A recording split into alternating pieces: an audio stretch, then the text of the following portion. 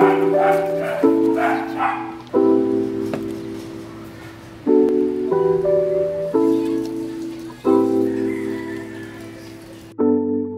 is up guys? Welcome to Ino and in this video, ipapakita ko po sa inyo kung paano mag-propagate ng Sansevieria or mas kilala sa tawag na snake plant from cutting.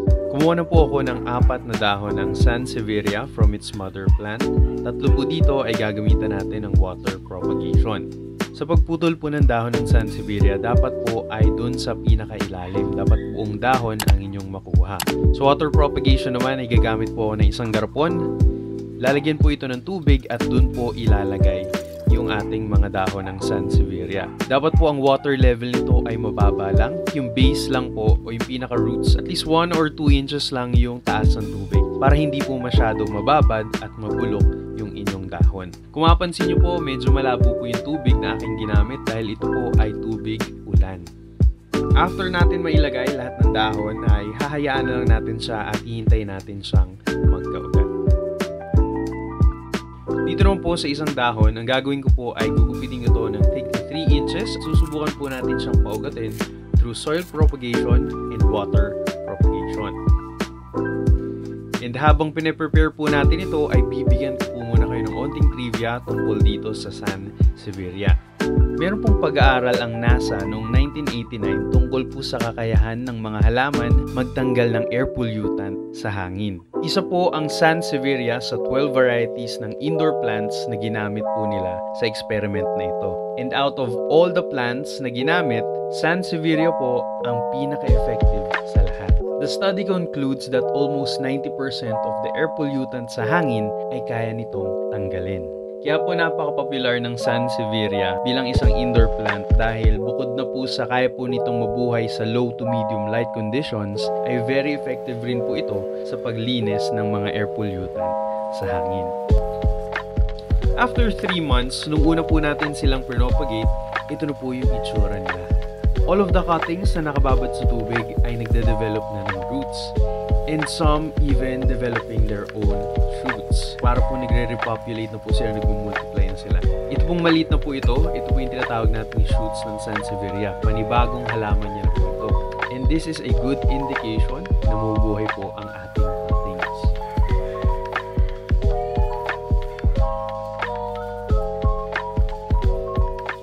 Samantala, yung mga ginupit-gupit ko po na leaves ng Sansevieria, lahat po yun ay hindi nabuhay. Sa susunod na mag-propagate po ako nito, ay ibababad ko na lang rekta sa tubig kasi mas mataas yung chance of survival. Ngayon po kung hindi nyo po napansin, yung mga videos kanina, nung February 2021 ko pa siya sinut. Ngayon po ay June 2022 na. Ang ginawa ko, hinayaan ko lang yung Sansevieria dun sa garapon kasi nabubuhay naman po ito sa tubig.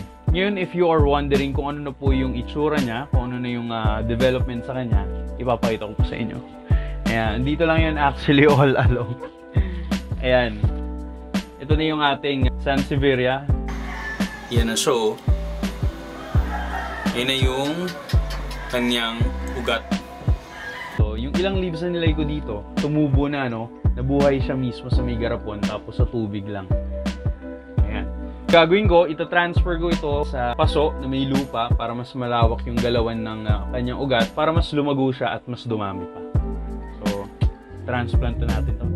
I-prepare lang po natin yung paso na gagamitin at lagyan ito ng lupa. Yung lupa po na ginagamit ko dito ay regular garden soil lang na merong halong organic compost. Kung gusto po matuto kung paano gumawa ng organic compost, meron po akong mga videos dyan sa aking YouTube channel. Check nyo na lang po. Yan, tanggalin na natin yung Sansevieria sa garapon. Dahan-dahan lang po ah. So dapat po dahan-dahan lang ah, iwasan po natin masira yung kanyang ugat. Though medyo matigas po yung ugat nito, no, makikita natin dito, iba na yung kulay ng ugat. Still, kapag nag-transplant po tayo, dapat iiwasan po natin or wag na wag po natin hayaang madamage yung ugat.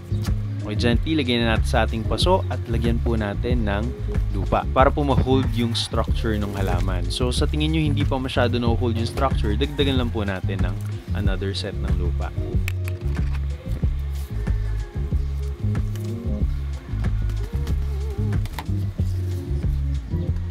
continuous lang po ako naglalagay and uh, pinipress ko pong maigi yung soil para maging firm.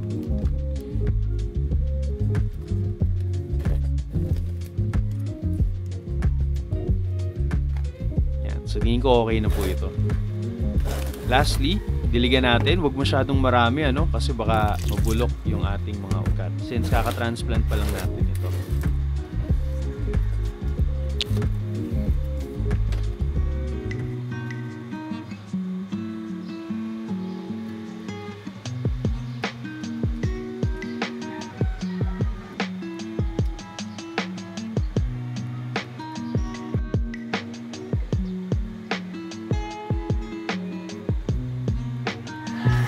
Alright, so ayun po ay bala kong ilagay sa kwarto since napatunayan na na itong halaman na ito ay nakakapaglinis ng hangin. So maganda sa talaga ilagay indoors. Kung kayo po ay merong snake plant, no, Sansevieria, ay pwede nyo po itong i-propagate using this method para mas maparami siya and uh, since pwede siya sa low to medium light condition, pwede natin siya ilagay sa loob ng bahay.